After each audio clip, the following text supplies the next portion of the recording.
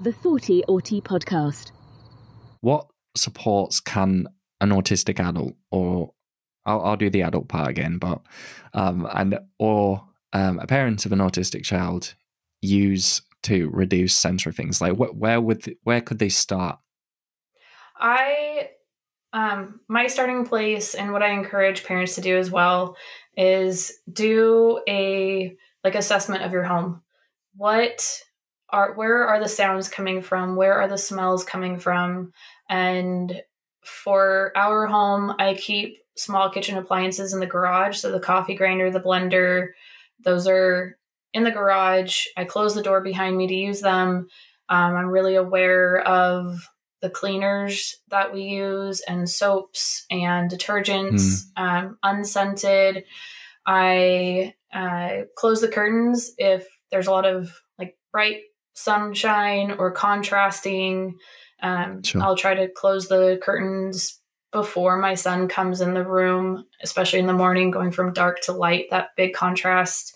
Uh, we've replaced fans. So, like our bathroom fan, we replaced the, the oh, I motor. hate those. Yeah. It's the ones it's really that connect to him. the lights when you put yes. the light on as well. Yes, that's uh, and even in the in the community we keep track of what bathrooms have fans that that come on with the light switch. Um, and that kind of goes along with the assessment thing of of um, doing your due diligence. I i look for um, soft materials. So mm-hmm. replacing anything that has buttons or zippers or feels scratchy especially oh, if you have a person who um, experiences self injurious behaviors, making sure that you're mm-hmm. not uh, pulling in a pillow that has buttons and zippers, um, that would yeah. be dangerous. So um, you can also look at your uh, de- decor. uh, yeah. Maybe you're you have too many colors and it's visually too much input. Um, you can look at if the if your child or the person, autistic person, has spatial awareness challenges.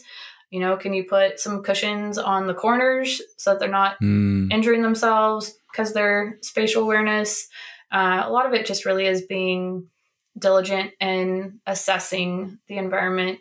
And so you'd say that that that kind of because I I would agree with you as well. I think you know the best course of action is to remove things at the source.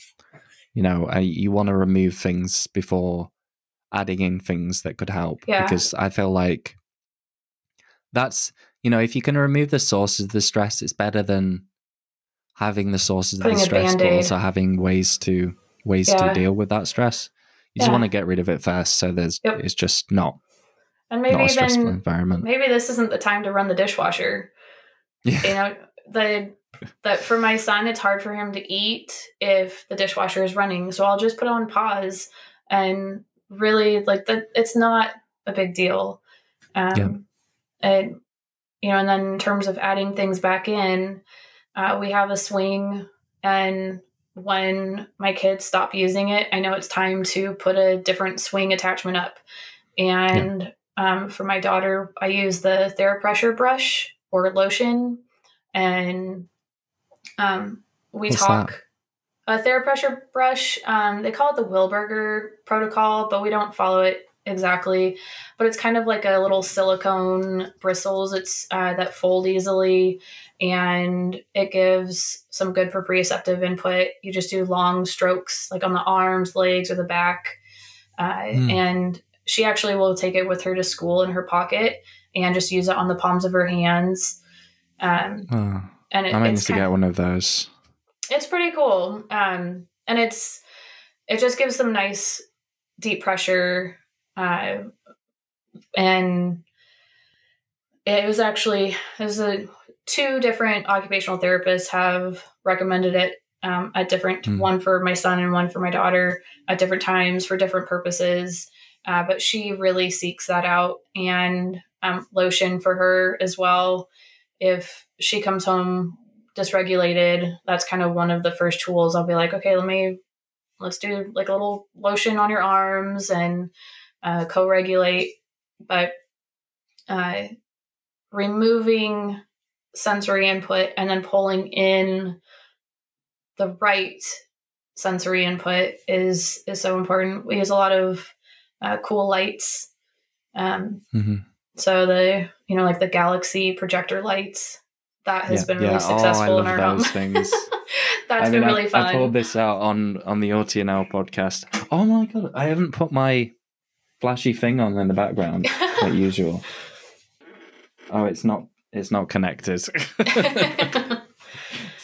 I've got, well, I've got I've got this. I'll put it on in a sec, but I've got this Yeah, fiber that's cool. optic light, which I really love. I also had this this jellyfish light as well, but I Cool. just haven't. I haven't put the batteries in in a while, and I need to get on that because it is like, if I'm like working and I'm just like, I need to have a little bit of a break. I can just Yeah. sort of stare at the jellyfish, listen to Yeah. my music. I think that that's really important. Um, I know the focus is autism, but with ADHD and because they're you know co-occurring so frequently, uh, adding in that um, that hit of dopamine um, with the cool lights or the music to stim to. Um, uh, sometimes we'll do like a piece of gum or a piece of candy just to get uh, get us motivated. Um, you know, the body doubling. There's so Yeah. many um, tools, and when you look at it like Mhm. tools, uh, it helps us to to cope and Yeah. and be the person that we want to be. Like nobody wants to be dysregulated. Um, Mhm. So if you're looking at sensory input like that, it it makes sense. Yeah, I think from um, from the kind of the the autistic adult side, I think you know a lot of those things could definitely be transferable. Um, you know, whether you're a, a child or an adult, you can use stuff like that. It's like I recently did a post on oral motor needs, and a lot of people didn't even know what they were, um, and that they had them. Um, and a lot of people like bite their lips and like you know grind their teeth or you know snack a lot. That was a big one for me.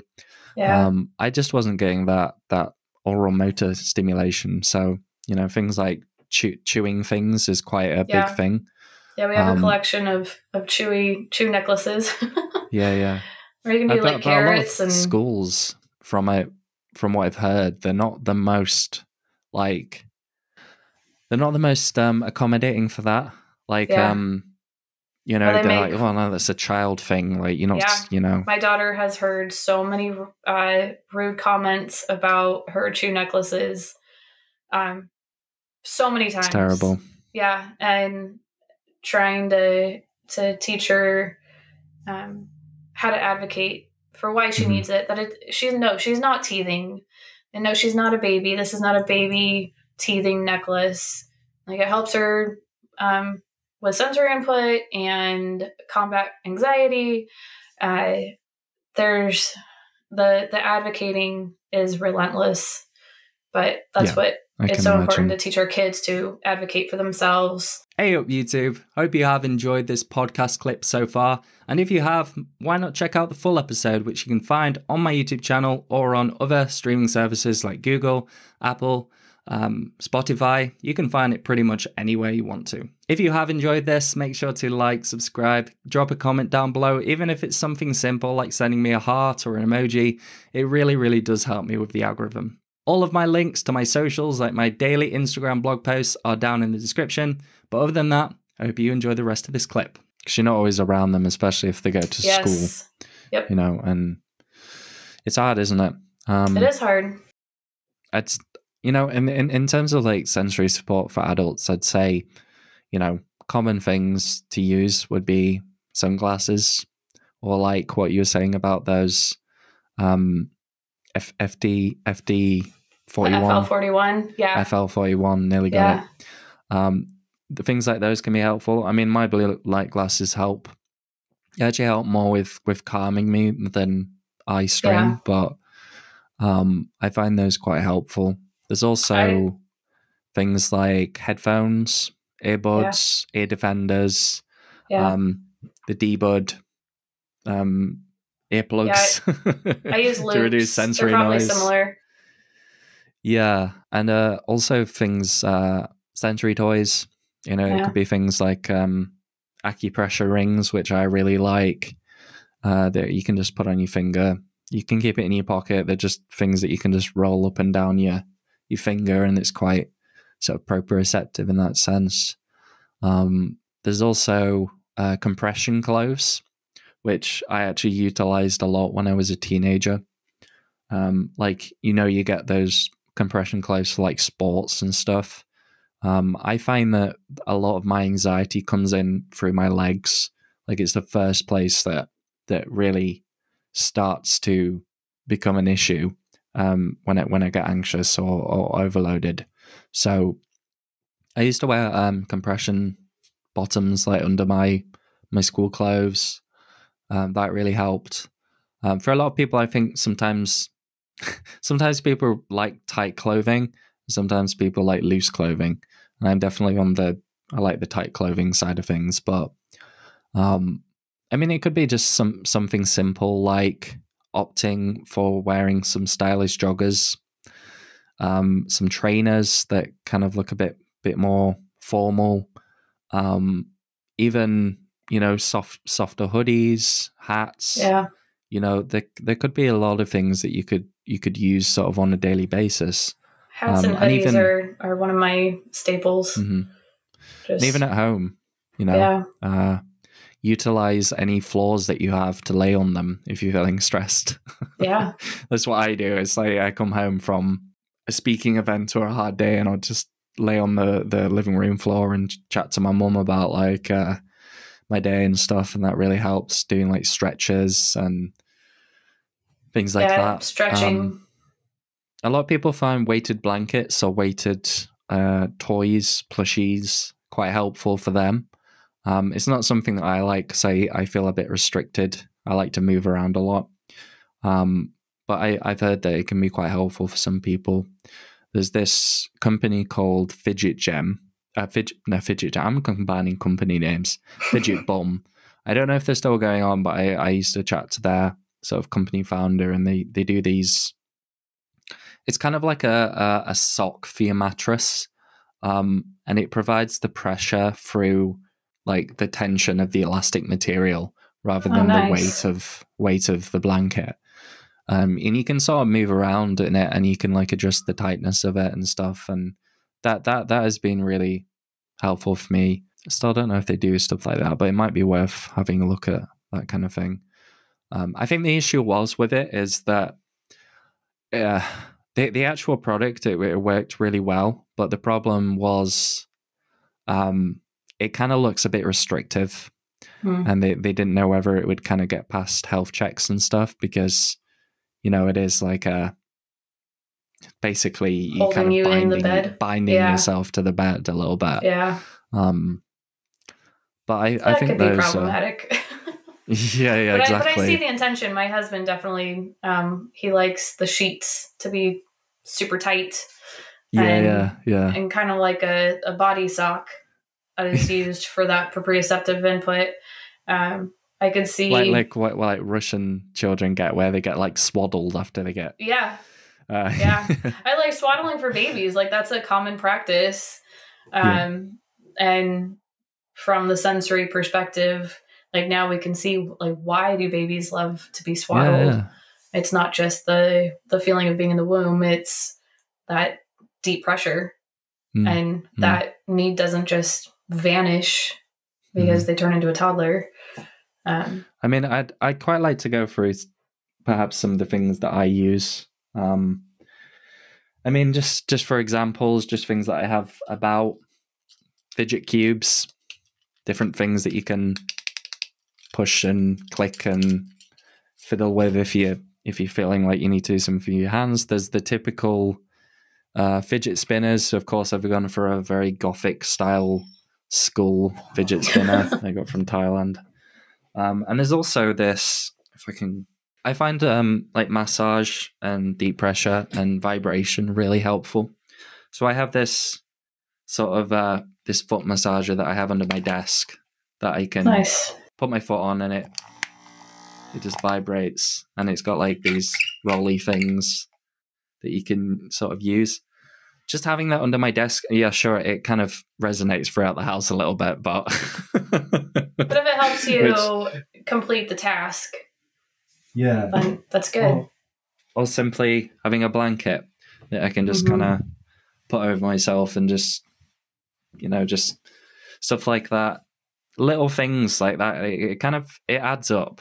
Um, it does, and especially if you you struggle like focusing and stuff, just having different things that you can do to kind of modify your sensory environment on a daily is quite it's quite useful. Um, yeah. And then lastly, there's noise cancelling headphones, of course, and music. Yeah, that's big one.